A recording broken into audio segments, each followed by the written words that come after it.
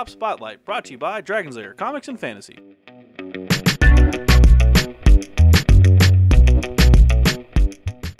Hey everyone, I'm Adam Harry from Bella Souls with, Evan from Dragon's Lair Comics and Fantasy. and we're back with another Tabletop Spotlight, and you brought another ship. Yes, it's The Force Awakens. U-Wing. The U-Wing. I'm gonna name mine Patrick. So this one is for X-Wing. This is the new Rebel ship. Yes, from the new uh, movie, Rogue One. Yeah. The, the wings move, right? Yeah, it's really cool because it's actually like, because if you see it right here, it's the U-Wing, Yeah. right? But if you see that picture, the It's all are separated. So yeah, like this. we'll show that off. It's Yeah. very cool. I, I'm pretty cool. Uh, pretty excited about this one. Like Mhm. the, the the Millennium Falcon had that little uh, radar dish that moved. Yeah, It wasn't really articulated, but this no, one is a this full is on. a really cool one. Yeah, Yeah, the, I think the the shuttle kind of moves sometimes. I don't Maybe I broke it. I don't know. you probably just broke it. I don't play Imperial, so I don't care. About it. anyway, But yeah, this is a really cool ship, and especially in the movie, it's really cool. So I'm really excited to take it does some different stuff uh, in terms of game mechanics too. So uh, yeah, Let's let's take a do look it. at the cards. Let's do it.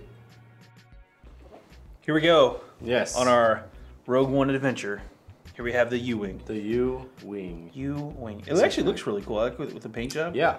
Yeah. Uh, we, we got a little preview of it at Okay. Gen Con uh, with just the, the ship. I don't remember if it was fully painted or not, but it definitely, uh, I don't think it was finalized. Okay, interesting. So like this a, is the first time we're getting to see it. Like, all together with the Yeah, yeah. and the cards in it. Okay, cool. it's really cool. Yeah. So here's the back of the box. Yeah. Uh, you open it, you break it, you buy it. Uh, that's true. He's a pro though, so he doesn't have to worry about We already took the plaster wrap off, as you can see. All right, ready for this? Dun, dun, dun, dun, dun, dun. I'm ready, man. Duel of the Fates. Oh, nice. I'll, no, get I'm not ship. doing it. Am I doing the the ship? Yeah, All right, I'll do the ship. All right. All right. So I mean, just like every other X-wing package that size, it comes in a little bag. It has the punch outs, cards, And we will go through all those in a minute. Some rules, Rules. and the thing for a thing. No, nothing else in there. Hmm. A little peg for the dial. So let's take a yeah. Let's take taking the, the ship out of the I box want to here. see. I want to see the wings move. You want to see the wings? move. I do too, actually. That's a very good point. These things are tricky. Don't break it. You're not going to break it, I promise. Unless you do break it, in which case you're a bad person. Ugh. You're like, mm, you're good. There you There go. You gotta, go. gotta push the button. Okay, so first off, there we go. Cool looking ship, right? Good paint job on it. Yeah. Good paint job. And these are supposed to move. Oh. Look at that. Oh, now that's cool. Dun dun dun. Oh, that's very cool. And it, yeah, there's the underside. Again, awesome paint job on it. Yeah. Um, FFG's painters just keep getting better and better, man. So they actually have some really cool weathering. Yeah, I saw I that like too. That. If you see the top two, like, that blue part yeah, right there. it's chip paint, man. Yeah, man, that's you really got to cool. pay extra for that. But yeah, it's got the different color panels. I really like the line work, very clean on this. Yeah. hmm very cool. And then again, those move depending on Is which it like mode. is it like okay? So there's some resistance, so Yeah. they don't like fall around. Yeah, they're not Okay. loose. I mean, I guess Right. over time, if you really just put some Right. WD-40 in there or something, you could. but like they're not loose. So yeah, they can, yeah. Okay, it won't move, that's good. so it stays. It's pretty cool. Good, Very cool. Well done. All right. All move you want to to the see side. some cards? Let's take some cards out here. Why don't we pause real quick? We'll lay them all out, and that way we'll save ourselves some time. Okay, so here are all of the cards. Yes. We're gonna start with the pilots, and we're we're gonna work, our way down. Okay. Yeah. Sounds good. Um, so real quick, the U-wing's got a base ship. Here's the uh, the blue Squadron Pathfinder. Right. It's got a three dice primary, which is pretty solid. That's very good. Yeah. Yeah, uh, it is a, a large base ship, so that's good. Um, it's one one evade, so nothing too crazy there, but it does come with four hull and four shields. Yes. It's pretty nice. Two uh, pilot skill for the. Yeah, this guy's just Yeah. a two. The action bars you see is a focus and a target lock, so it's not doing anything fancy as far as like Right. barrel rolls or boosting or If anything actually you like look at all of them, they're all just focused Yeah. on target locks. The difference is we've got uh, as far as upgrade bars, we're going to start seeing the uh, elite pilot talents over here on this end. So these guys don't have an EPT to uh, to play with, but Okay. you've still got sensors, you've got torpedoes, and you've got two passenger shot uh, slots, which is a big deal. Right. Well, because it is a carrier ship. Yeah. Yeah. So it makes sense. And you've seen the movie. You don't have Yes, to spoil or anything, but not. it is a transport. More, Yeah, yeah. They transport people. In it. Yeah, it's more of a troop transport than a Yes, straight exactly. fighter. So Mhm. it makes sense. Now the cool part about that is with two passengers, you can do some pretty crazy combos. Oh yeah, Uh, definitely. I'm not. We're not going to cover those. And it, it comes with some cool Yeah, passengers. you have a ton of cool yeah. passengers. Yeah. But you can really get creative with the with the combos. As as a, a rebel player, I, I do play rebels majority Right. of the time. Uh, there are some very cool um, passenger combos. that you can do that I'm, I'm fairly excited about, but we'll get to that. So the the the, the base pilot is just a two. He doesn't really do anything fancy. Uh, Heff Tobber is actually a card we haven't seen yet. Okay. which is pretty neat. His ability is special. Uh, after an enemy ship execute uh, executes a maneuver that causes it to overlap with your ship, you may perform a free action. That's really good. So Yeah. you're gonna try blocking with. Yeah, the this U-wing. the Okay. U-wing, this particular U-wing is a really great blocker. So you want to get in their face, get in the way. Uh, then they, if they bump you, you then get to perform a free Which action. Which is great because he has a fairly low pilot score, so he gets to move first anyway. Right. Yeah. Which makes him a fantastic blocker. Yeah, exactly. exactly. So that that way you can get get in the face of those Right. Imperial Aces or whatever and really mess with them. Um, and then because you got the uh, uh, perform action, you can do stuff to get out of the way, or you can target lock them, or you can get you know maybe an engine upgrade and boost or whatever you want to do. Yeah. There's lots of options there. Um, this, the next pilot up here is a pilot skill for uh, Bodhi Rook. I'm sorry if I'm butchering that name, Oh, but that's I'm pretty sure it's straight up. Uh, he's got a cool ability, and I think this is one of my favorite abilities out of this set. Mm-hmm. When a friendly ship acquires a target lock, that ship can lock onto an enemy ship at range 1 to 3 of a friendly ship. Wow, that's really cool. Now, just throwing this out here, if you took like an A Wing Right. at the start of the game and just flew them way out there, uh, Went ahead. went ahead, But fast, so they can do yeah, that. Yeah. super fast going, you know, speed 5 all the way up the board. Uh, if that A Wing gets within range 1 to 3 of an enemy ship, Mm-hmm. everybody else in your list can then target lock that ship.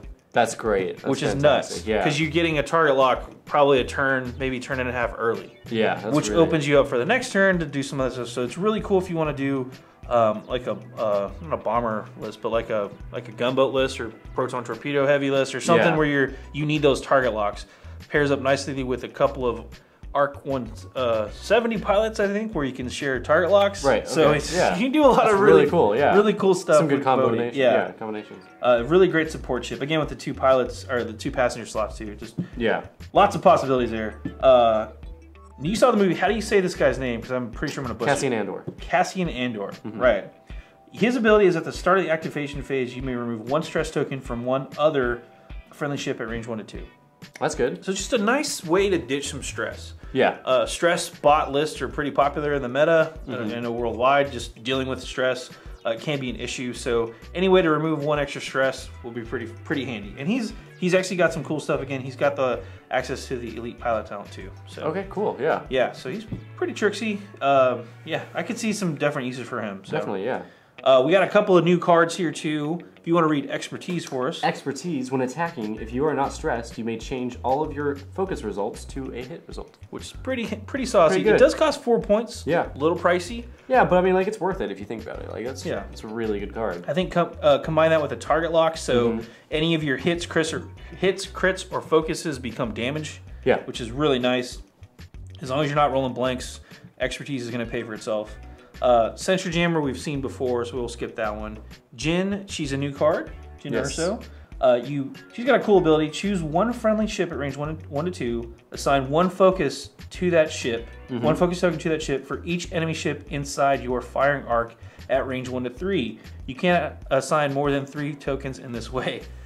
she is a focus factory. Oh yeah, she's awesome. Yeah, it's just really cool, and you get to give those to other ships too. Right. You got to remember though, you, you are friendly to yourself, and you are within range one to two of yourself. Yes. So if she's on the ship, she can do it, or she can toss them out to somebody else. That's really which cool. is pretty Yeah. handy. Want to check out Bay's Wars there? Yeah, right. Okay, so after you perform an attack that does not hit, you may immediately perform a primary weapon attack against a different ship. You cannot perform another attack this round. Which is pretty cool. Yeah. mhm. Um, just the extra shot. It's like uh, I know there's another card that lets you do that, but this is against a different ship. Right. It's a slightly different setup, but it can be super handy if you're firing at, say, I don't know, a, a Imperial Ace and you Yeah. whiff, but you have like a shuttle in range. You're like, oh, I'm gonna shoot you. Oh, I whiff. Well, now I'm gonna shoot the shuttle. That's great. Yeah. So you can just kind of change your fire. So, and then how do you say this guy's name? I don't actually know. I think it's Bis- Bistan. Bistan. Bistan. We're gonna go with that. Bistan. Bistan. Maybe he's French. Maybe. Bistan. Eyebrows. Pretty French looking. Ho, ho, ho. He's an alien. I don't know. uh, this is a rebel. These are all rebel only, by the way. Yeah. Uh, when attacking at range one to two, you may change one of your hits results to a crit result. Great. So that's just a nice way that obviously you can combo really, Yeah, really well with definitely. expertise. Uh, that's a pretty obvious combo. There's other things in there. Um, if you put him on a ship with uh, torpedoes or missiles and guidance chips, guidance chips gives you a free hit or crit depending on your primary Mm-hmm. Yeah. damage. So that could get you some extra free crits. So Totally. just throwing that out there. Uh, again, Bodhi Rook as a passenger instead of a pilot. Uh, same ability basically, except it's only on that ship. So when you acquire, acquire a target lock, you can lock onto an enemy ship at range one to three of any friendly ship. And this is again, if he's riding shotgun, he gives that ship that ability. It's not a not a universal one like this one. It's pretty great. And then we have uh, Andor again. This is a neat ability, and he works great with blocker ships. So it's kind of complicated. So let me read it real quick. At the end of the planning phase, that's when you put down your dials. Right. Uh, you can, may choose an enemy ship at range one and two. Guess aloud that ship's bearing and speed. Then look at its dial. If you are correct, you may ro- rotate your dial to another maneuver. So It's kind of like a little mini game within the game. a little mini game. Yeah. The, the cool part about it is whether or not you're right or wrong about the speed and, and You get to heading, see the dial. you still get to look at their dial. which is cool. Exactly. Yeah. If you throw him in another blocker type ship, if Yes. you want, or maybe you're going for an arc dodger and you Yeah. just want to make sure you get away, you look at their dial no matter what, and then if you have tricksy stuff like boost or barrel rolls or stuff to get you extra movement, you can then get out of that ship's way. That's very cool. So either way, you're going to see the dial. There's another. There's a couple other other combos I've written about before where you can uh, pair him up with other passengers to take advantage of getting to look at somebody's dial. So- Right. But we're not going to get into all that. you want to read up the new uh, inspiring recruit force? And you can see here the troop transport in the U. Uh, Yeah. The U-wing. Uh, once per round, when a friendly ship at range one through two removes a stress token, it may remove one additional stress token. So that's good. That's nice. If Yeah. you combo that up with Candor, or, Yeah. eh, sorry, Candor. Oh wow, I'm gonna call him Cassian Andor. You I know, but the front- Candor. Candor, because he can't a- do things. which is the ship from uh, Supergirl. Anyway, inspire recruit with Andor here. You can make them remove a stress token, and then again they can remove another one. So Right. It's just a cool way to do that. We've seen uh, stealth device before. Mm-hmm. Increase your agility value by one if you are hit uh, by an attack. Discard this card. Yeah, so it's just an agility boost, but Yeah. again, yeah, like I said, we've seen that before. This is the, the new title card. Okay. And this is something cool because this is it pivot wing uh, in attack mode. So this is increase your agility value by one. Right, and so that's a good reason. Where's the ship? The ship is right here.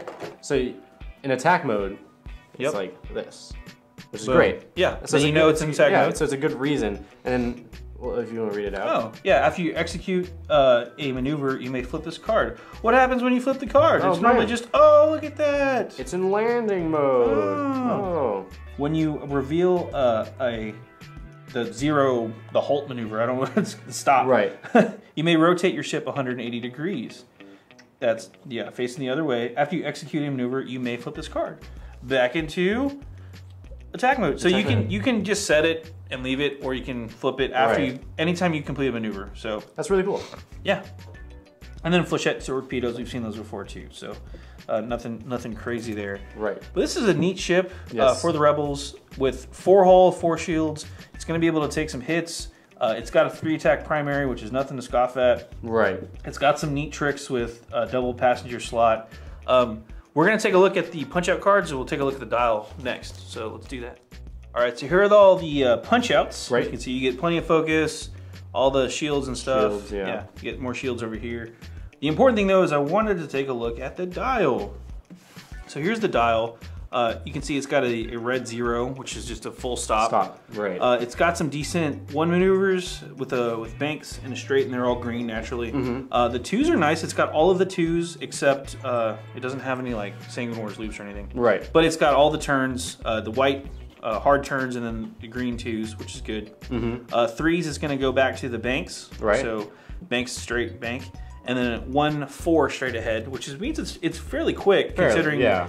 Considering the fact that it's on a large base ship. Right. Um, when it goes four, it's going a pretty far distance. I noticed it doesn't have any turnarounds, but I guess if you have the title card, that makes sense. Right. Because uh, when you go into the landing mode, you can turn 180 degrees Yep. if you do the stop maneuver. So Exactly, exactly. Very cool. Okay. So anytime you reveal that red, if you're on the landing mode, right. you do 180. So no K turns, like you said, but you can still get you know get flipped around, and then of course all the different bases and stuff like that. So, but yeah, it's a pretty neat little ship. Um, that's pretty much it for the uh, the U wing. The U-wing. Uh, I'm pretty excited about this one. I think it's Yeah. gonna uh, do some damage in the meta for sure.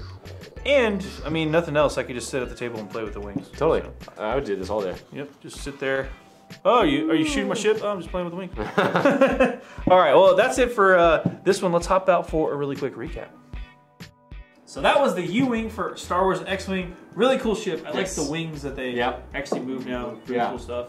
Uh, what's the price point of this one? Twenty nine ninety five, which is about the same for every. Yeah, for the large base ships. yeah. yeah, makes total sense. Yeah. Uh, it's got some great cards in there. I Oh, yeah. really think Rebels are going to get some new toys Totally. to play with here. I'm jealous for the rebel players. Yeah. you should be. uh, but then again, you saw the other cards in there. There's some really cool combos Yes. you, can, you can pull off. Yeah.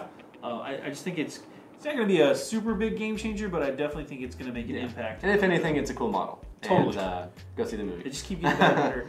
He's already seen it again. Oh, I'm, I'm gonna see it again super tonight. jealous. So we're I'm gonna go see it. Uh, so hopefully by the time this video's out there. Anyway, yes. I'm Adam Harry from Bell Souls. I'm Evan from Dragon's Lair Comics and Fantasy. This has been another Tabletop Spotlight. Thanks again for watching. Tabletop Spotlight brought to you by Dragon's Lair Comics and Fantasy. Thanks for watching.